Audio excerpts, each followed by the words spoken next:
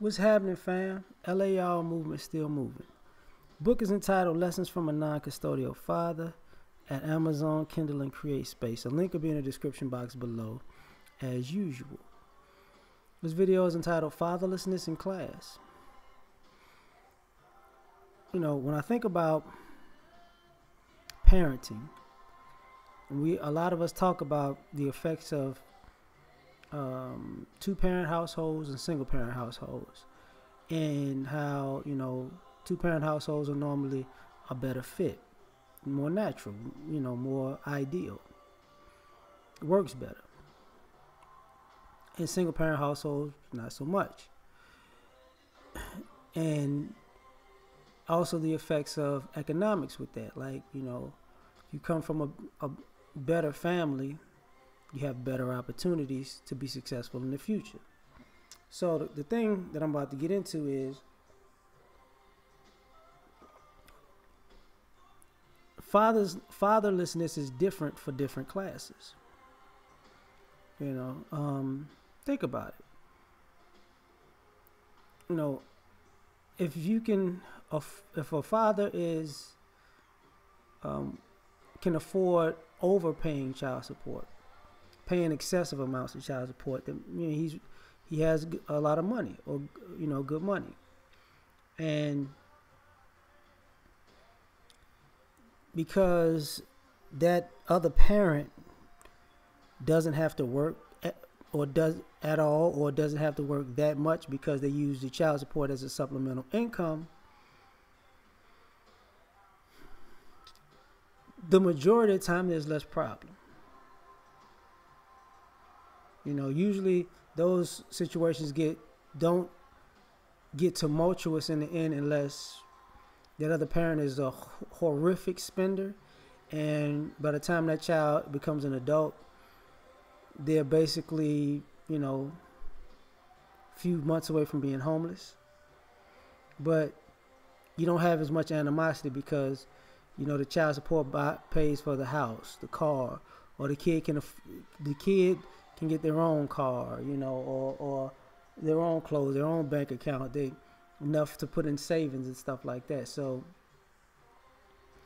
and if the father is there or not, it's it's less animosity because you know don't get it twisted. Like if somebody's not there at all, it's going to create a you know there's going to be a lot of angst there. But if the guy's not there and their lifestyle is good, you know, to a degree, you you can't ignore the fact that even if your father isn't there, what he's doing out in the world is providing you with the lifestyle, the education, um, the the ability to network, um, the comfort to um, grow in a better environment and thrive in a better environment exists. So you can't discount that. You can't discredit that. And you know, sometimes and even sometimes rich kids and and um well off kids and their and their parents will be like, money isn't everything, but you, you be real. Then you don't see them giving up the money no time soon. You know. It might create entitlement issues, yes, but comfort nonetheless with less animosity. Middle class, you know, it's a bit of a crapshoot.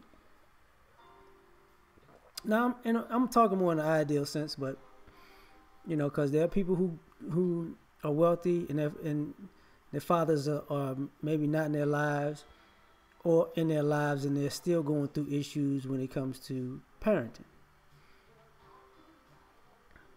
Middle class is different Be- because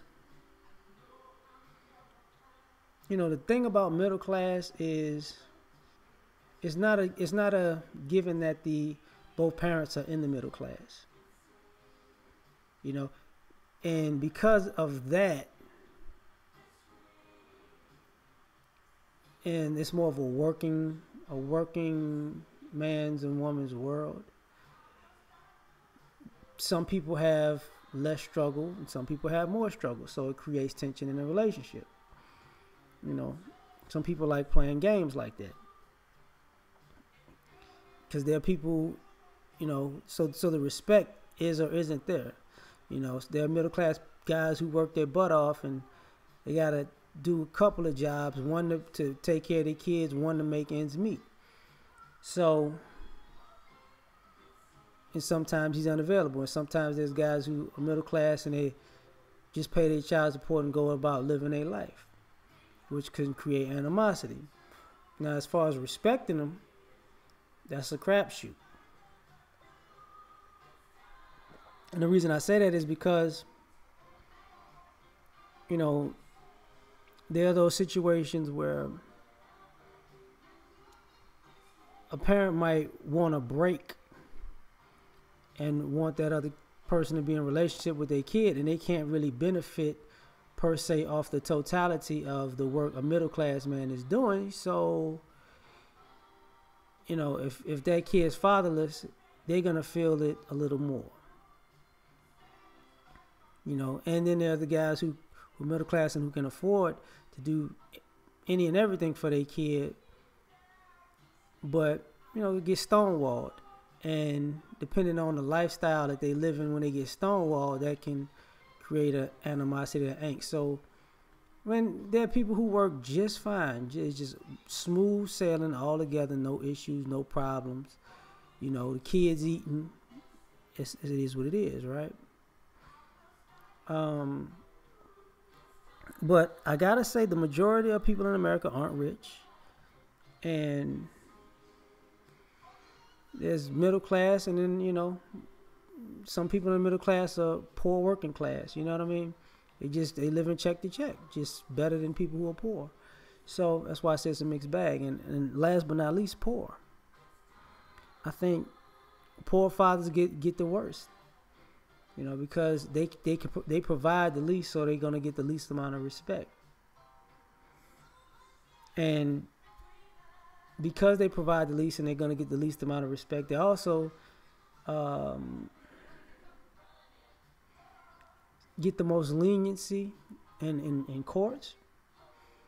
You know, sometimes guys who are middle class and upper class really get um, the screws put to them because of the guys who can't afford to do what they with what those middle class and upper class guys can do. So it's a unjust way of balancing the um, the um, the scales of justice.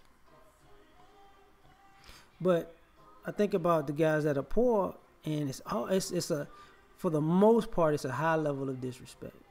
For the most part, you know, it's a pay to play situation you know, because um,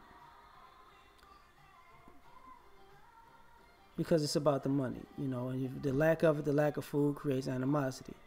Now, you know, guys who are poor, in some cases, have more time than, than rich and middle class guys, and they try to give their child as much time as possible. Some some women are cool with that, some women are not, and I think that's also a class issue because if the woman's poor like the guy, she might not be as cool with it. If she's middle class, she's living okay with without the guy. So she's like, you know, spend as much time with your baby as you can, or whatever, you know. And um, because ultimately, you know, they're doing better than he is. So, you know, money um, provides respect also you know, because as as people get older, if they're richer, they, they're like, you know, they try to cozy up and be friends with these people because they can't maintain their lifestyle after the kid at a certain age. When they're middle class, a lot of times you see people when those kids get grown try to find somebody to get in a long term relationship or marriage with or whatever. And but they're not going to produce any kids because normally they're too old for that. They just are ready for a real relationship, and I get skeptical of that because I think it's just a supplemental income because there's no reason to get married and build a family if you're not building a family, right? Get you know you get married to build together, but you're not really building because your kids are grown and you're not having anymore. That's what I'm trying to get at. And with poor, it's like man, look, I can't wait to get you out my life. You know, on both ends, but the, the kids suffer. So, you know, I think father fatherlessness and class make people view fatherlessness differently. So, we out, man. Peace.